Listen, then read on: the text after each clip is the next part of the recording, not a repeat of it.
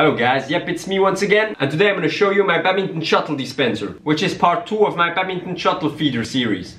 Okay, so I came up with this dispenser mechanism, but before I show you how it works, I want to show you what I did before. So my first idea was to integrate the gripper, so I bought this Makeblock gripper, which would take the shuttle above and bring it into the container, which is just below here. I made this container out of a Coke bottle, so I took only the, the top of the Coke bottle and cut it so that the shuttle fits in there. And then this container would push the shuttle into the wheels. Unfortunately, the gripper was unreliable and even broke after 50 tries, so I needed to change my plan. So I came up with this beast. So before I explain you the mechanism, I'm gonna show you how it performs. Let's plug it in.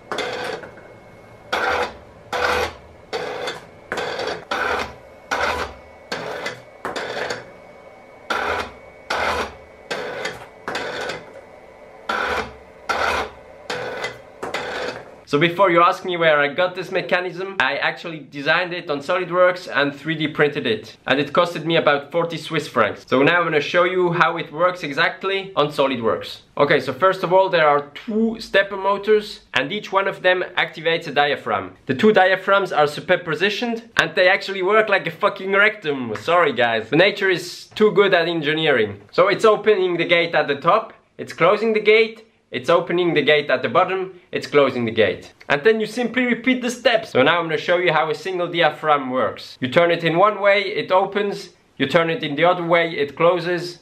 As simple as that.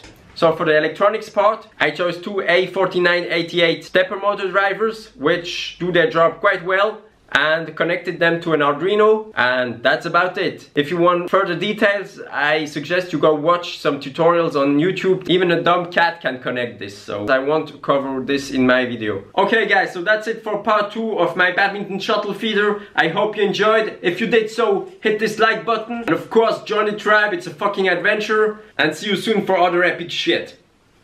Bye.